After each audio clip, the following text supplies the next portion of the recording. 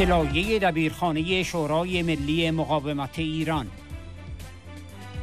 درخواست حکم اعدام برای شماری از زندانیان سیاسی در زندان اوین توسط دادستان جنایتکار.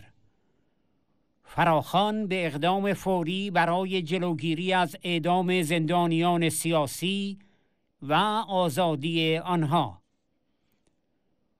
دادستان رژیم آخوندها برای شماری از زندانیان سیاسی از جمله مهدی حسنی، بهروز احسانی و حسین درخشانی در بند شش زندان اوین به اتهامات آخوند ساخته بغی و محاربه از بیدادگاه ضد انقلاب تقاضای حکم اعدام کرده است.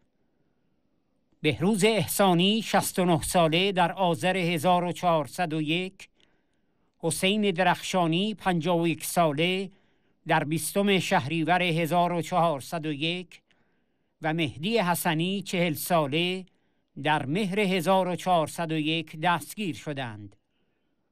مهدی بیش از هفت ماه در سلول های انفرادی زیر شکنجه های جسمی و روحی قرار داشته است.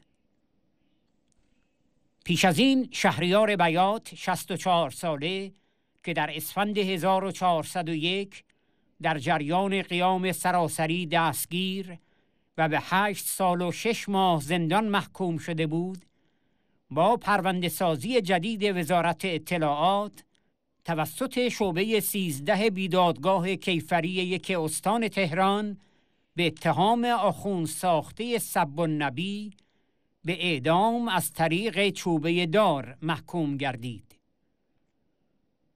مقاومت ایران کمیسر عالی و شورای حقوق بشر ملل متحد گزارشگر ویژه ملل متحد درباره حقوق بشر در ایران هیئت حقیقتیاب بین المللی و عموم مراجع مدافع حقوق بشر را به اقدام فوری برای جلوگیری از اعدام زندانیان سیاسی و آزادی آنان فرا می‌خواند و بار دیگر بر ضرورت بازدید هیئت حقیقتیاب از زندانهای ایران و دیدار با زندانیان به ویژه زندانیان سیاسی تأکید می کند.